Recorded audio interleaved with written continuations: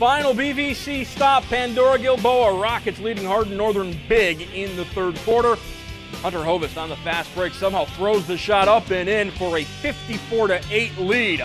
More from the Rockets. Jacob Waters inside of Colin Fenstermaker. Nice reverse by Fenstermaker as the Rockets with the advantage. Alex Osborne down low, muscles it up and in. 50 point advantage. And then Osborne comes up with the steal. He was excited to see the golden megaphone coming to Pandora Gilboa tonight.